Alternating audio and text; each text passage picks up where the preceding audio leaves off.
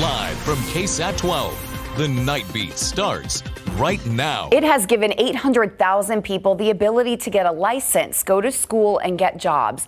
12 years ago today, the Obama administration rolled out the Deferred Action for Childhood Arrival program, also known as DACA. It's meant to help those who are brought here to the U.S. illegally as children. Recipients say they've seen wins, including expanded access to health care. The night team's Daniela Ibarra explains why some still worry about the program's future. Andrea Rathbone Ramos and her husband are high school sweethearts who graduated from Churchill.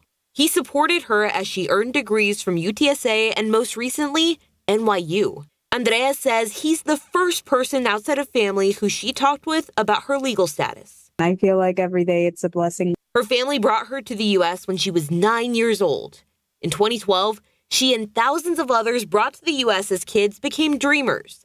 They're covered by the Deferred Action for Childhood Arrival program, known as DACA. It was a breath of fresh air when DACA was announced. Immigration attorney Gerardo Menchaca represents several DACA recipients. He's seen the challenges.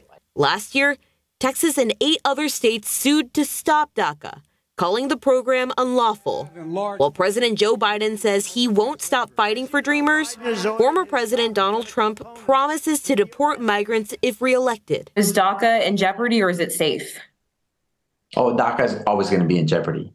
My clients are worried about the fact that it is a temporary program, that they can't count on having the DACA program in five years. Immigration policy has been broken for a very, very, very long time. Andrea hopes for a permanent fix. Even though she's now married to a U.S. citizen, Andrea says her pathway to citizenship is not guaranteed. Danielle Ibarra, KSAT 12 News.